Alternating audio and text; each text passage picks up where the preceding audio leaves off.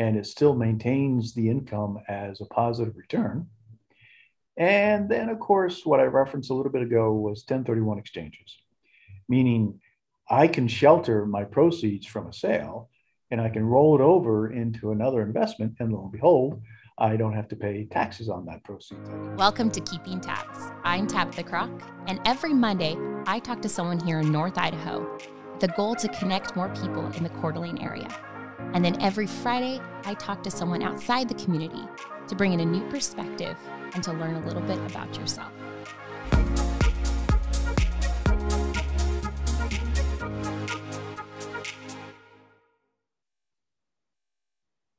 Do you love Pacific Northwest as much as I do and want to show it off wherever you go? I have the best apparel for you. Go to Forever Green PNW. So that's Forever E R G R N P N W.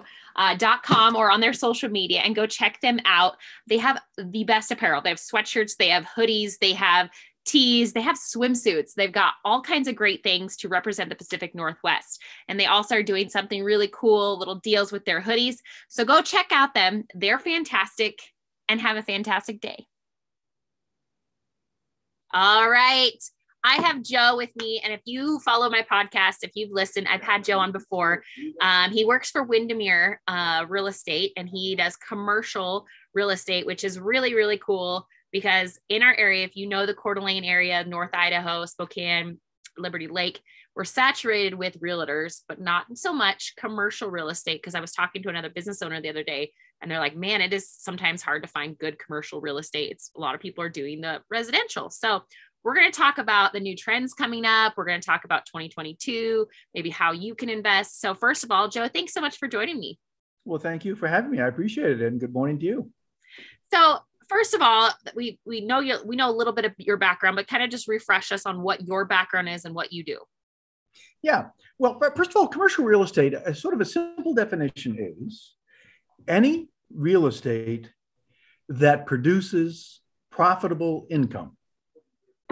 There is some real estate, commercial real estate, that isn't necessarily profitable, but I wouldn't encourage you to invest in that. So I'm going to limit my focus to profitable uh, income.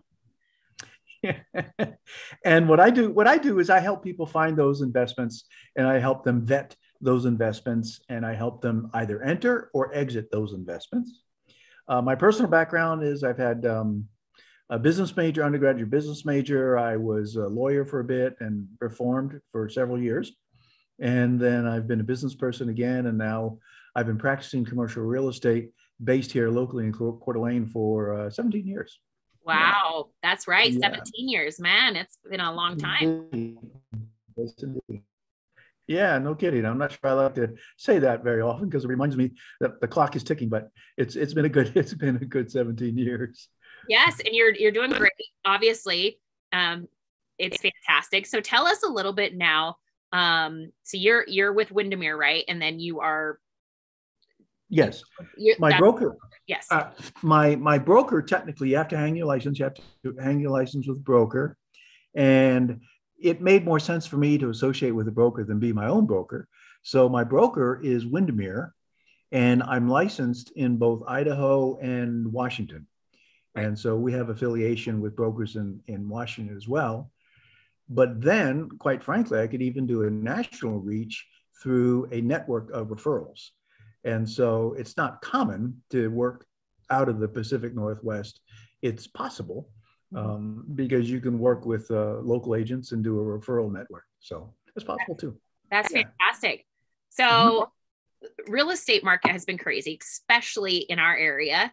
Um, tell us kind of a little bit about like what you see coming up here in 2022 um, maybe some different trends. Are we like are we about to burst or are things still looking good? Tell us a little bit about what's kind of happening right now in the market. Yeah, yeah good question. Um, no i don't think we're about to burst.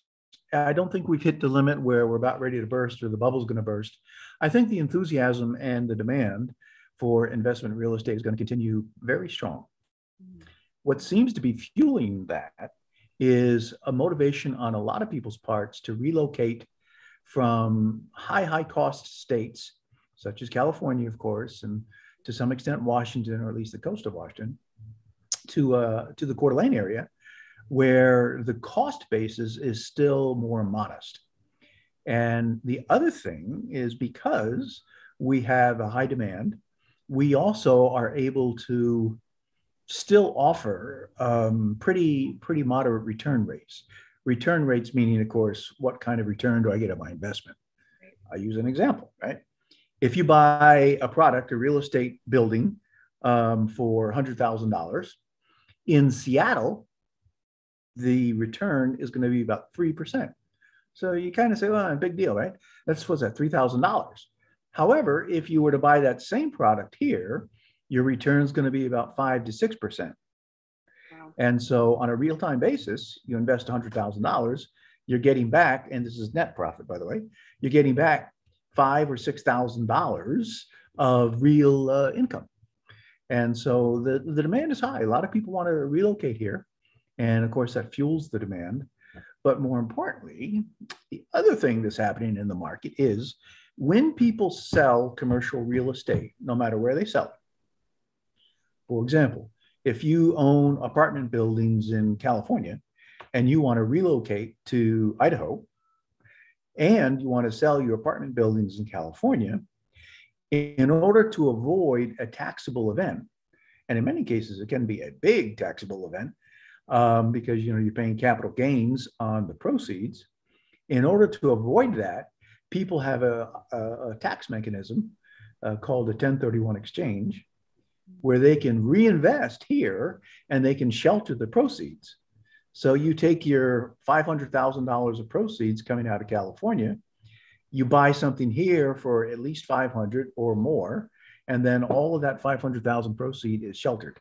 It's deferred until some point in the future. And so, you know, that's that creates a lot of incentive too. People say, "Hey, wait a minute. I'd rather reinvest in an investment than pay my taxes now." I mean, that doesn't make sense. So that that fuels a lot of demand too. 1031 money, 1031 money. That's good to know. Um. With that, and like you said, the apartment obviously apartment buildings are always a hot item because you're going to need yes. those. But um, yes. what about like business space? I mean, in the big cities right now, like a lot of people aren't working in the office as much. Are you seeing right. anything here, or is there a lot of people like investing in office space and those kind of things as well? Yeah, yeah. Another good question. Um, a rebound from the COVID trends, there was a softening in office space demand because we've sort of taught ourselves to work at home, as I am right now. Um, we sort of taught ourselves to work at home. But I, I, still see a fairly strong demand because there's still a lot of professional services, medical practices, and um, those sorts of things that require a little more in-person touch. And so the demand has been fairly stable um, business demand for buildings or opportunities to to uh, be an owner user. I mean, if you're an accountant, for example, and you're looking for space or spaces to accommodate your firm, then with the growth of areas such as ourselves comes a little increased demand because with more people, there are more accountants, et cetera, et cetera. And then so that's kind of fueling the demand as well. Yeah. And so it's stable. A short answer is the office market is stable. That's cr- that's mm-hmm. crazy. So, what other kind of um, commercial real estate do you do, or do you help people invest sure. in? Well, because we're a relatively small market, I have to I have to do everything. Mm-hmm. Um, but I have a little bit of a subspecialty, or a lot of bit of a subspecialty, I should say, in hospitality, particularly hotels. That's right. And so, for example, um, if you wanted to purchase a hotel or sell a hotel, for that matter, uh, historically and to this day, the valuations are always based on a multiple of the gross sales. So, for example, let's say your hotel is, is generating $2 million of gross sales. During COVID, the multiples had gone pretty low because COVID really pulled the rug out from underneath hotels because of lack of travel and what have you. And so, if you were trying to buy a hotel year and a half ago, two years ago, you would have paid about 3x the uh, gross sales, $6 million. Today, with the rebound of traveling and the rebound of, you know, more proactive management of COVID, what's happening is, is that those multiples are going up. And so today you can see multiples of four or five. And just imagine the math. Four times two is eight. So that's 2 million more. Five times two is 10. So that's 4 million more. And so in the hospitality business and the hotel business, it's a great example um, because ev- all the valuations are based on a multiple of gross sales. And so that's a pretty vibrant market. And even locally in the Coeur d'Alene area, I mean, I have to maintain some confidentiality because I happen to be involved in a few. But publicly, you can see some hotels going up um, where the old Outback Steakhouse was. I mean, that's going to be an 88 room hotel. Yeah, and there are one or two others that are planned, and so you know we, we're we're following the demand curve. Yeah, that is crazy. I know. I was talking to someone from the Coeur d'Alene Resort, and usually right. like their off season, and right. They don't have an off season anymore. We live in a state that's like very pretty open, and so a lot of people yeah. are traveling here just for vacation, and it is yeah. crazy. Like we used, to, I used to get cheap rooms at the resort, and now it's like, yeah, they're booked. Let me know if you can get cheap rooms. Pass on a friend, a friend and family rate. But yeah, I'm, I'm the same way. You know, and another area I should mention. Obviously, I, I talked about hospitality and uh, hotels and what have you, which is restaurants included. But another area that that's growing in demand because people are relocating here, and the demand for services continues to be high, um, is industrial you know, contractors and electricians and trades folks, they're all growing their businesses because we can't build enough houses uh, fast enough. And so everybody that's in the building industry and related is, is generally expanding their business. And there's a lot of transition from used to be a tenant where I was renting my space to now I not only can I afford, but it makes a lot more sense to buy an industrial space, a, a, big building with some amenities, and then run my business out of there. And so we're seeing quite a bit of that as well. Um, the demand for industrial exceeds the supply quite a bit. Wow, that's crazy. Yeah.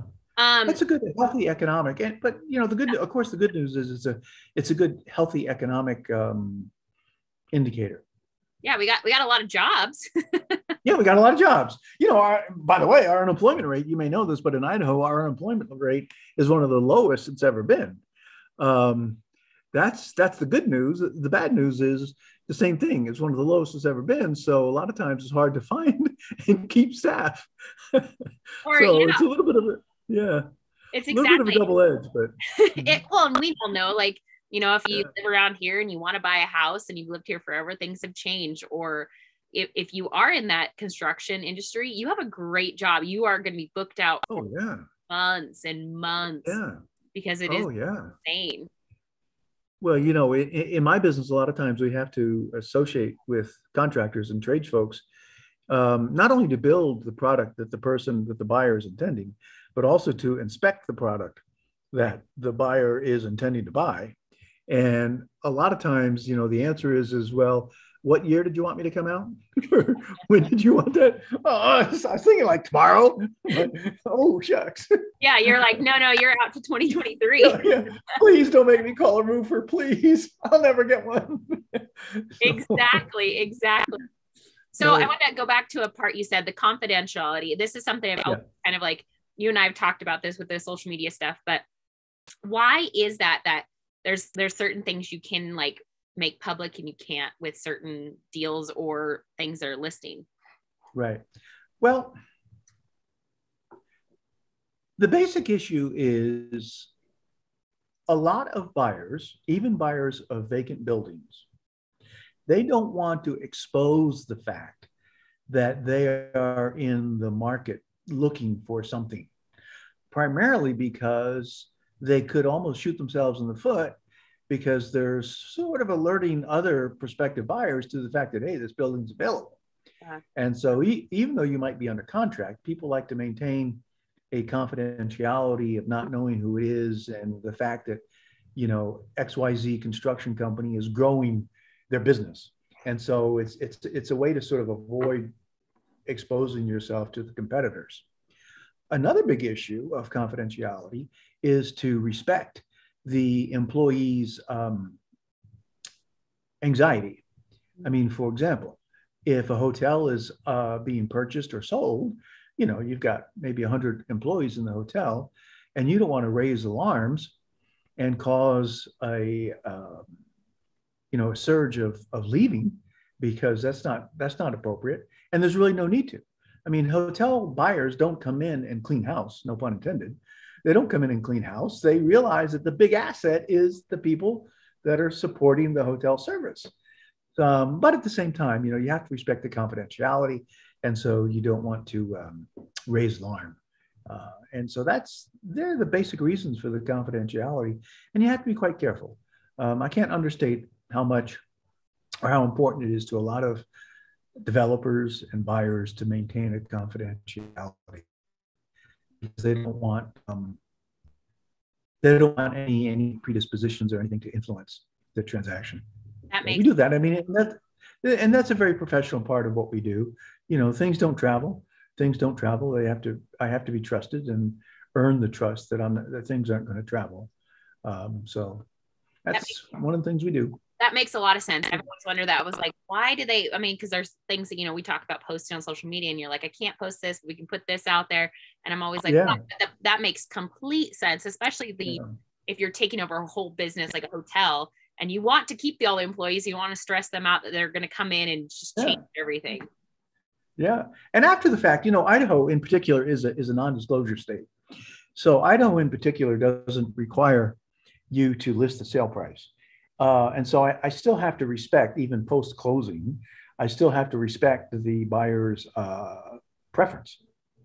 Um, and so it's not uncommon to have a lot of those sales go unreported.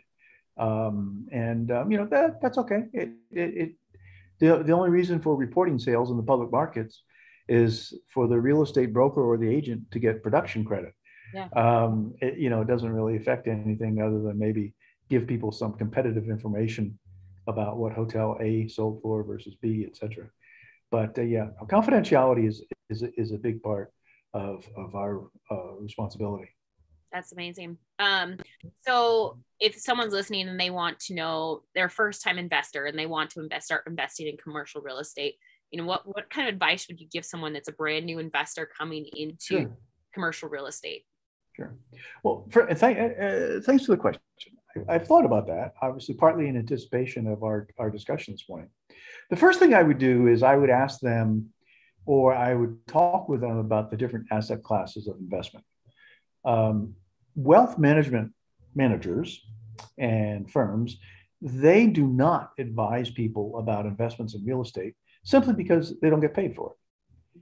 They're going to push the products that they are getting paid for stocks, bonds, um, currencies, commodities, and you know the, the, that range of products. So, excuse me. So first and foremost, what I would do is I would take people through some of the distinctions of investing in real estate versus investing in other asset classes.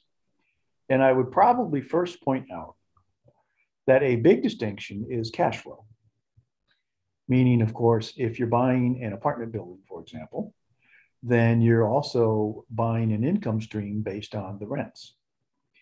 Compare that with a stock, you don't really get an income stream unless it's a dividend stock, but it's not very, it's pretty modest, whatever it is. Um, and so, A, you have real cash flow. B, you have huge tax advantages because you get depreciation schedules, you get write offs of your any uh, financing interest if you finance, uh, and you get uh, write offs of all the expenses, including management uh, for the property. And so that offsets a lot of the income and it still maintains the income as a positive return. And then, of course, what I referenced a little bit ago was 1031 exchanges, meaning I can shelter my proceeds from a sale and I can roll it over into another investment. And lo and behold, I don't have to pay taxes on that proceeds. I can continue to let it grow. So, one, the first thing I'd probably do is take them through briefly a little comparison about the pros and cons of real estate versus other asset classes. And then the second thing was I'd get a little bit deeper into the investments and I would take them through what kind of returns they can expect in various uh, commercial real estate products. For example, let's go back to apartments. I mentioned earlier that in Seattle, uh, people are buying apartment projects with a 3% return. And that means they're paying a premium price. Because if I'm the owner and a seller, and I'm only giving you in return a 3% return, that means me, the seller, is going to get a lot higher price. And so you say to yourself, well, wait a minute. Here in Coeur d'Alene and here in the surrounding area, Mr. and Mrs. Buyer, um, you can expect 5% return here.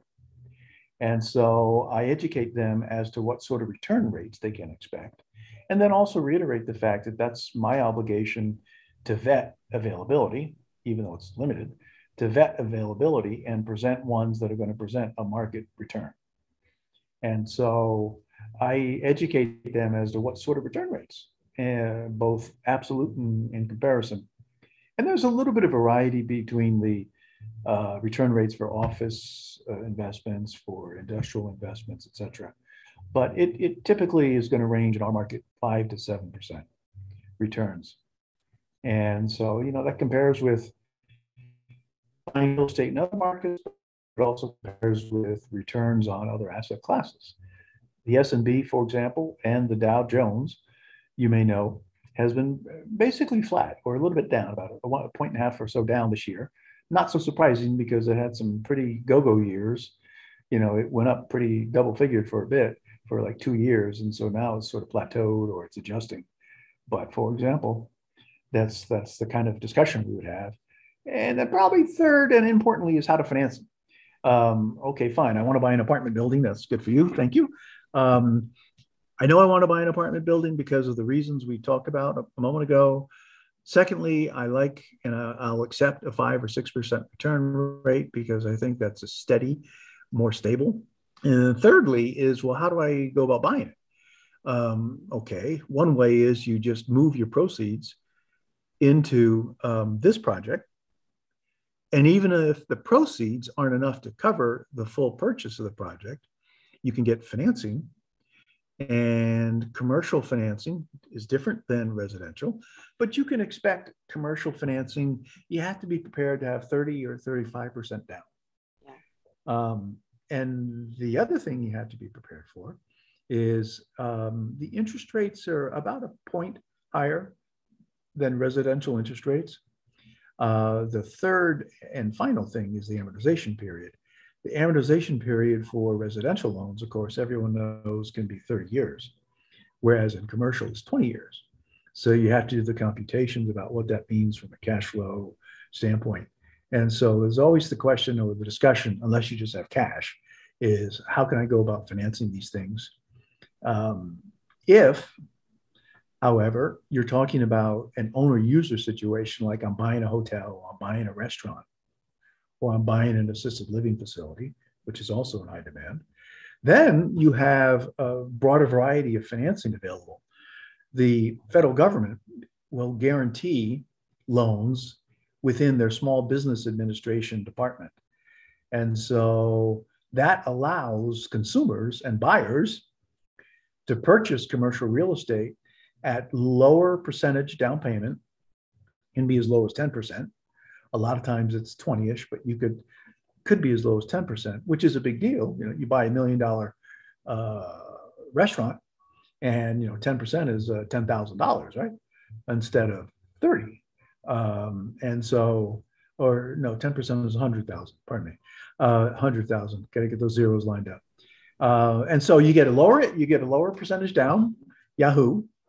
You get a interest rate that is fixed for up to 10 years uh, versus commercial loans that are generally fixed three to five years. So Yahoo, especially in these days of lower interest rates. And then the third thing you get is you can almost always get a 25 year amortization as opposed to a 20. So the third Yahoo is I get more cash flow because my monthly payments are less. Ta-da. And no prepayment penalties either. So, you know, if, if you are an owner user, don't hesitate. Um, and, I, and I help everybody through all those processes. I don't just turn them loose or you know point them in a direction. I mean, I'm I'm, I'm a transactions coach along the way, and so we we have those discussions and we facilitate all those through the resource network I have. Wow, that's so, awesome. Hey, Yeah, you want to buy some? What do you think? Yeah, of course. yeah, you ready? Let's go.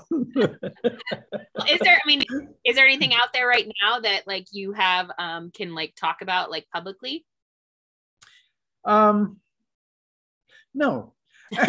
No. I wish there were, but no.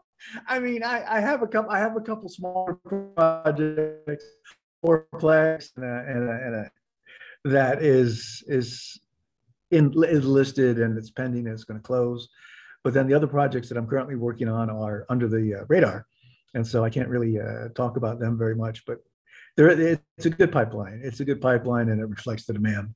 it's fantastic it's a Yeah. good problem to have Yeah, it really is. It really is. The hard part is just, you know, zipping it. You're So, excited about it I'm good at that. exactly exactly so let's talk. So what would you like? Maybe we could. Yeah, we exactly. We'll talk through. about that. Let's switch roles. exactly so Oh. um i know it's hard to predict the future but do you see any changes or things happening within this next year or do you kind of see it just kind of staying the same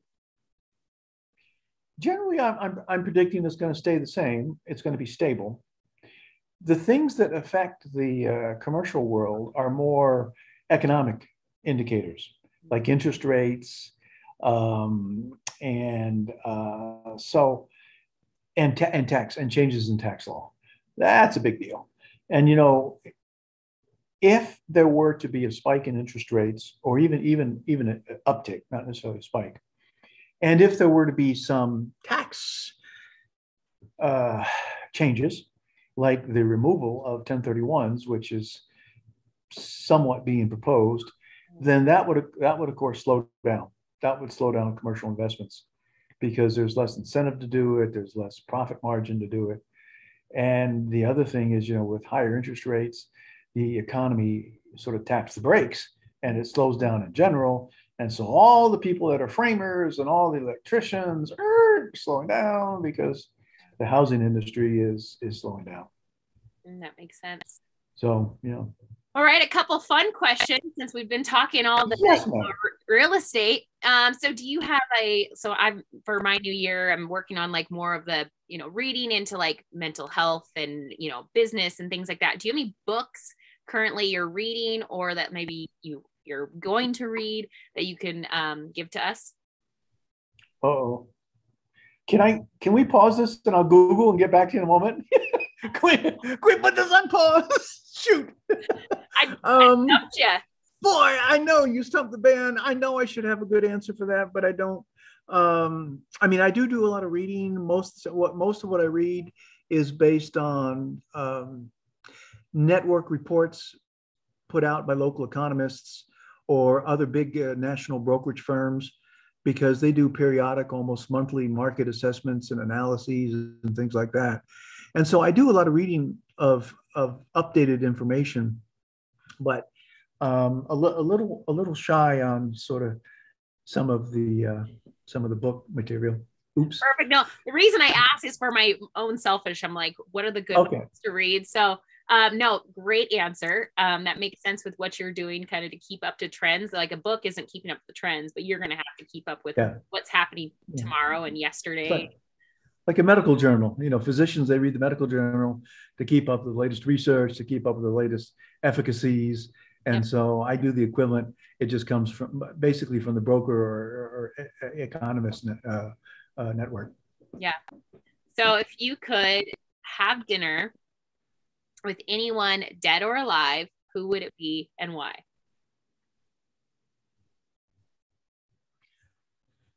Uh, he's alive. I'd like to have dinner with Warren Buffett.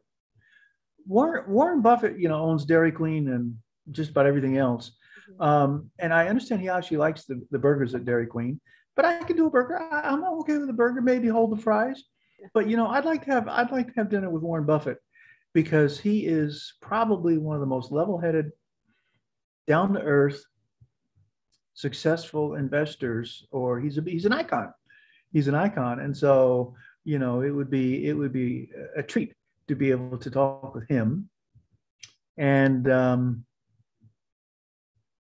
if I wanted to compare that with a, a, a completely different personality and image. I'd probably, if I could get Elon Musk to stop flying to the moon, um, maybe, maybe if he could come back to Earth for a moment, it'd be fun to have uh, lunch, not dinner. Fun to have lunch with a cup of coffee with Elon. Coffee. Hey, Elon. yeah, I think after a cup of coffee, you'd probably want to. I mean, that guy is out, is just crazy. Yeah, yeah. I'm, I'm sure that would be a heck of a contrast in styles. Oh, so, yeah. So that would be fun. But, That's awesome. Yeah, yeah. So, um, if someone's listening and they really want to connect with you, or maybe they have a deal or they want to get involved, what is the best way to get a get a hold of Joe? Yeah, no, I appreciate it. Well, I'll just be very straightforward. Obviously, you know, my posts and my profiles, courtesy of you, are are available on LinkedIn and uh, YouTube and uh, Facebook and Instagram. But I'll just be very straightforward. Please listen. If you're ready, can you write this down, please, please? Um, my email address is joe f f like Frank at windermere.com. Once again, joe f at windermere.com. And my phone, once again, please write this down, is 208 699 0764. And I'm pretty darn responsive. So you can be pretty assured that if you contact me, that I'm, I'm going to engage you and we're at least going to be engaged. Yes. I mean, 100% I agree with that. If I email you, call you, text you, you're quick on the response. So if you are interested in investing or ready to sell something, get a hold of Joe. He's like quick and smart and knows what's going on. And, and thank you for that. I appreciate it. And uh, the other the other thing I should I should I should mention is is that those phone calls don't come with a uh, invoice. Uh, those phone calls are introductory slash advisory sort of phone calls, and so those are free. The only thing and the only way I get paid is if we put together a transaction and the transaction closes. But then, of course, as we know, by uh, sellers pay commissions um, and uh, just wanted to reassure you that there's no cost or no disadvantage to having a phone call to see if it fits you or you want to you want to take the next step into an actual investment. So feel free to call. Feel free to call. I'd love to I'd love to speak with you or or even communicate electronically. Perfect. My last question for you is Yes, ma'am. Yes, it's been we're about to hit we're hitting a brand new year. This we're still yes. in the first part of the first right. month of the year. Um, right and we don't know what's going to happen. COVID's been crazy. This pandemic's been crazy. We live in a community that's just crazy. Um, what kind of advice would you give someone that's maybe struggling or, you know, is unsure of the future? What's a piece of like positive advice you could leave with someone that's maybe struggling the last couple years? Well, and it, it, it, I kind of sound like a parent, so I'm going to date myself and give a little parental advice. But but the parental type advice was um, hard work pays off. And so don't be discouraged by the fact that it's we've been hitting walls and different things and parents with kids in school having shutdowns, no shutdowns, etc. So I would say that avoid as best you can being discouraged and trust that hard work pays off. And so don't just throw your hands up in, in, and let yourself be discouraged. The other thing is do as I say, don't do as I did, which is start investing. Invest as best you can early. You know, five dollars a dollar. It, it's amazing how it adds up. Mm-hmm. And you know, put put aside something for the future um, instead of being, you know, more focused on the on the moment or the present. So that you know, within ten years, you would have enough to buy an apartment building. You would have enough to buy um, other sorts of investments. So they're, the, they're the two things I would say. That's perfect. Joe, thank you so much for giving me some of your morning today. Well, thank you for having me and allowing me to share my morning. I look forward to, and I, I just want to do a shout out, if you don't mind, anyone listening. Um, please do work with Tabitha. She Tabitha, she's great. Um, I usually call her T. So if you yes. hear me say T, don't be don't ask who the heck is that. That's Tabitha. Uh, but please do call her. She is absolute delight to work with, and I really appreciate her support. Thank you. Thanks for listening to Keeping Tabs. I'm Tabitha Kraack, and every Monday I release a podcast about different community members here in North Idaho.